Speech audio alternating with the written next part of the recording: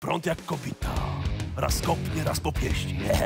Ty masz fajny pojemniczek na kokę. Cała budowlanka na tym stoi. Jezu! Spoko.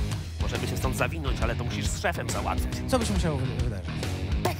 Panie Rafale, pan się nie martwi. Zbudujemy dom z kartonu. Dla mnie jest czarna magia, nie wiem co się dzieje. Dobra, mój stoi. Jestem kolorowy ptak. Pa, cześć. OTT Wacom. Rafał, jeżeli się popłaczesz, to... Gwen Piniella.